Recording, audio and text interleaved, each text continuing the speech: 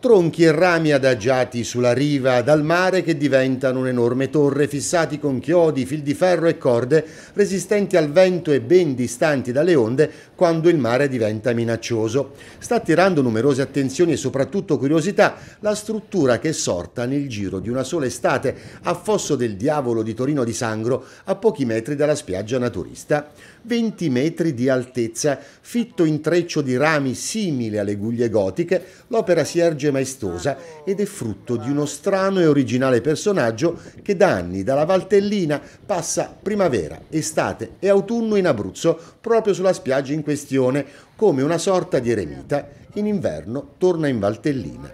Si chiama Tiziano, uomo schivo e riservato, che sulla torre si arrampica e che promette di completarla. Lui la ritiene un simbolo. È un fiore che si erge al cielo, con i tronchi, con tutto ciò che il mare ha portato. E anche, non solo io l'ho fatta. Eh. È stabile? Stabilissima, non hai visto, sono andato su, ho mosso, sono... poi non è finita. Con i tronchi del prossimo anno farò il nido in cima.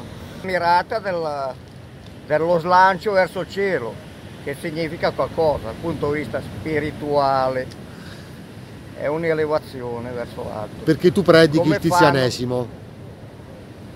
È evoluto, è evoluto. Una volta era il tizianesimo, adesso è qualcos'altro. Qual è il tuo stile di vita? Lo sapete già. Me lo ribadisci? La tua filosofia di vita? Naturale, semplice, senza soldi, che i soldi dissacrano la vita chiudono i canali della vita. Il potere e i soldi sono una mostruosità, è la schifezza umana che regna su questo mondo che distrugge il mondo e distrugge la vitalità. I canali della vita si chiudono col potere e la ricchezza. Non bisogna andare in quella direzione.